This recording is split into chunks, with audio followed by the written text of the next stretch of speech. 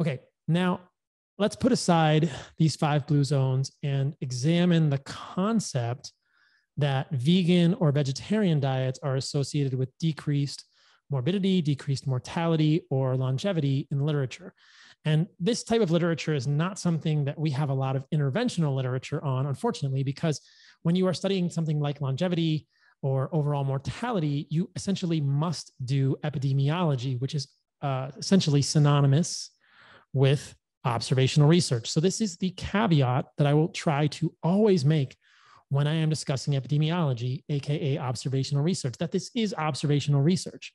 And the problem with this type of research, I get questions about this all the time in my direct messages, my DMs on Instagram, et cetera, is that it has so much potential to be confounded by two things called healthy user bias and unhealthy user bias. And if you've listened to any of my content, those terms probably ring some bells in your memory because you've heard me say them so many times. And I continue to find it incredibly important, indispensable to clarify these terms for people and to get the idea out there to help express, to help communicate to the public that these things confound epidemiology, observational research. Because how often do we see on the news another headline? eggs, bacon, etc., walking down the street is associated with a bad effect.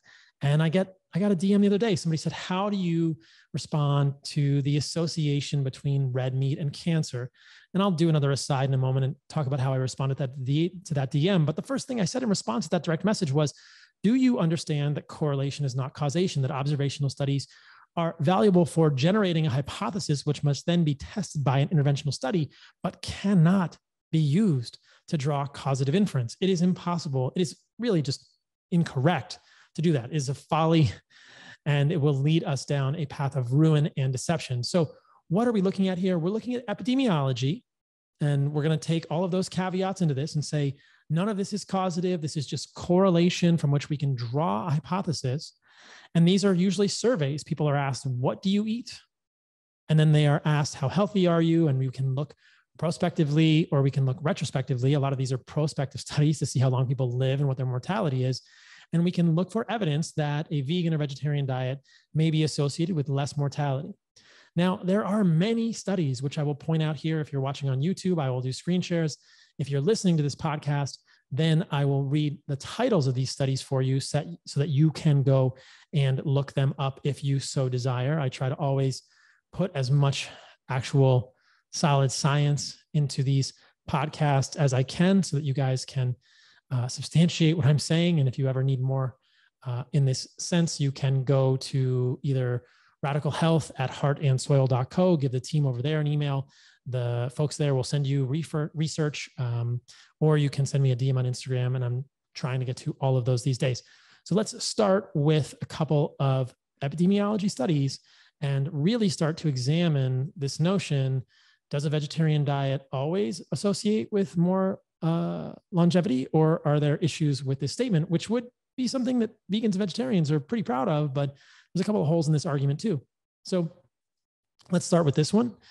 The title is Vegetarian Diet and All Cause Mortality Evidence from a Large Population Based Australian Cohort, the 45 and Up study. If you just read the conclusions, they say, um, we found no evidence that following a vegetarian diet semi vegetarian diet, and I think they are referring to a lacto ovo vegetarian diet. And a vegetarian diet in this paper refers to a vegan diet or a pesco vegetarian diet, has an independent protective effect on all cause mortality.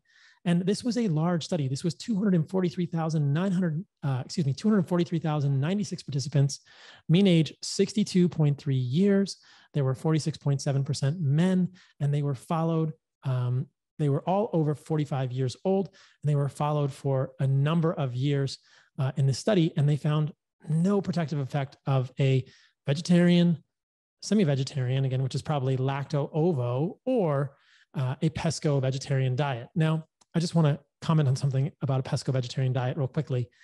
I tweeted this recently. If you don't follow me on Twitter, you may want to do so there. Um, I said a pesco vegetarian diet is a great way to get heavy metal toxicity. There are so many examples now of people that I've known, famous people in the media, including uh, Tony Robbins, including um, what's the guy's name on Sirius XM? I'll think of it, Howard Stern, uh, who had frank heavy metal toxicity from a pesco vegetarian diet. So if you are including a lot of fish in your diet, be careful. Check your heavy metals, check your lead, check your arsenic, check your cadmium, check your mercury. You can check blood levels of these things. It's super easy. Uh, you don't need to do a provoked test, although they are stored in bones, and a provoked test may be a more accurate measure or it may give you another data point. You can just get a blood level of lead, cadmium, arsenic, mercury, and uh, get a sense of how heavy metal toxic you are. Now, the blood levels will be more acute. A provoked test with DMSA, DMSO, or EDTA maybe a little more long term in terms of your stores of these heavy metals. But I've seen this in my clients repeatedly, even if they have a binge. I had a client once who had opah, which is a type of fish from the grocery store, and he said, "Oh, this opah was on sale." And get lo and behold, he'd been eating a lot of opah that week. His heavy metals were off the charts in simply a week from this acute exposure. I've seen it in clients who were eating wild salmon three to four times a week. They had elevated levels of mercury. These are not good things, guys. So, this is another corollary question that I get sometimes. What about fish on an animal based diet? My answer is theoretically, fish is great. I don't think you need the omega 3 fatty acids from fish. I addressed that last week in the Ask Me Anything podcast, where I talked about the importance and the availability of getting omega 3 fatty acids from ruminant animal fat. But fish are also quite contaminated with heavy metals. Be aware of this. Even if you're eating wild salmon, it has significantly more mercury than you're going to get in beef or chicken or lamb or turkey. And this is going to accumulate in your body. If you're doing things like tuna, buyer beware. That's a big problem. Mahi mahi, grouper, even those fish have moderate to high levels of heavy metals and the benthic fish too. The shellfish, the mussels, the scallops, the clams, the lobsters, the crabs. A lot of these things sink to the bottom and accumulate in those fish. So this is not a good recipe for long-term success. Once a week, sure. A couple times a month, no problem. More than that, I think you're eating some of the more dirty animal foods on the planet. Just be aware and check your heavy metals. I live in Costa Rica now. I surf a lot. I've thought about getting into free diving. I'm horrible at holding my breath, but I want to get better at it. And one of the, I think, disincentives for me to get into free diving is that free diving is often connected with spearfishing, which sounds super fun and interesting, except I'm not going to eat anything I catch for the most part, maybe a small fish here and there, but most of what I catch, I'm going to feel so guilty about the heavy metals from that. And like I said before, I don't think there's a whole lot unique in fish that you want to get in your diet that you can't just get from ruminant animal meat and organs, lamb, beef, bison, these type of things. Now, theoretically, historically, has this always been an issue? Probably not. I think we're polluting the ocean. This is part of our life cycle on the planet as humans. Um, not necessarily intrinsically part of our life cycle, just part of our life cycle. Uh, historically, we've we've done this to the oceans, and so things are changing. I often say to people, "Would you eat a cow from Tokyo that's grown in the middle of Tokyo? It's inhaling that horrible air, or a cow that's grown in the middle of Beijing, or do you want a cow from rural Georgia, like White Oak Pastures, or from perhaps rural Costa Rica, right up the street from my house? There's cows grazing on the land here on the Guanacaste Peninsula. I would rather eat the cow that's in cleaner air. But what if all of the fish you eat is equivalent to the cow in Tokyo or the cow in Beijing? Because it's all kind of swimming in dirty water. And the longer the fish lives, the more it's going to accumulate these heavy metals. This is a problem with excess fish in the diet. And again, I don't think you need fish for omega 3s. You can get plenty from ruminant animal fat, especially exactly because you are avoiding seed oils because you are avoiding omega 3 excuse me omega 6s which share the same synthesis pathway to the end result those longer chain omega 3 and omega 6 fatty acids as i talked about last week on the podcast so pescatarians lacto-ovo vegetarians vegetarians no improvement in mortality in this very large study in australia in adults about half of whom were men slightly more than half were women who were above 45 years old. Let's look at another one. This is a study that I've talked about a lot. It's a really important study. It's called Mortality in British, British Vegetarians. Sometimes I refer to it as the UK shopper study.